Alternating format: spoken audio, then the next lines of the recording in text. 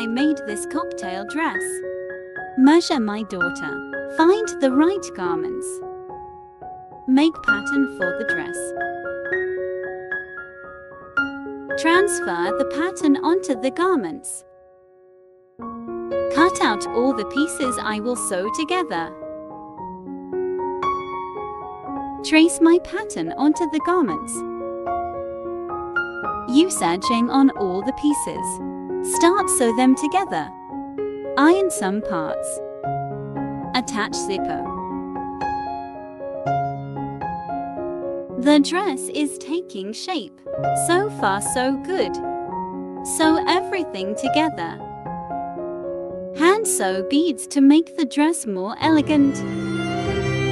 This is my daughter using the dress during her JS prom. Isn't she beautiful wearing it?